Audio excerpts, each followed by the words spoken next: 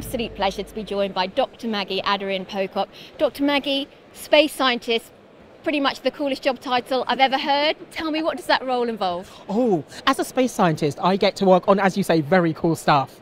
Uh, so, for instance, the James Webb Space Telescope, it's building sort of instruments that go into space and help us understand the universe. But perhaps more importantly, it's also building instruments that help us understand our planet and make changes on our planet, hopefully for the better.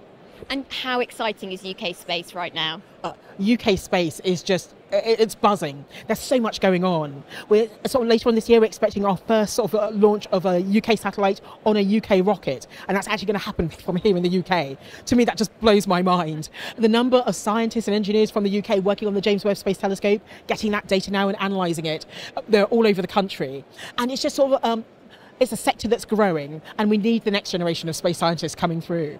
And how are we able to inspire the next generation of space scientists? This is the challenge because at the moment, when people think of space, they think of NASA, they think of out there, but space is happening right here in the UK and it's doing fantastically. So it's just trying to sell that to the kids and actually let them know that in the space sector, we are looking for scientists, we're looking for engineers, but we're looking for lawyers, we're looking for marketers, we're looking for people across the board. So whatever anyone's doing out there, they can come and join us in the space industry. And how do they find out more about joining that? Well, I think the UK space, um, UK space is a great place to start. There are sort of lots of uh, actually job portals which actually say you know what space industry jobs are available, and uh, so yeah, look online, uh, check it out. But yes, come and join us. We're having a lot of fun. and how exciting is it to have an event like SpaceComm to get the space industry together?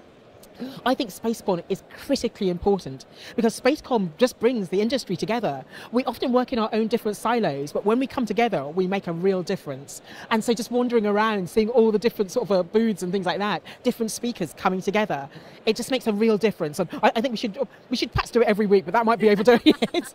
but when I get here, I just get really excited and just love interacting with the different people. Dr. Maggie, thank you so much. My pleasure. Thank you.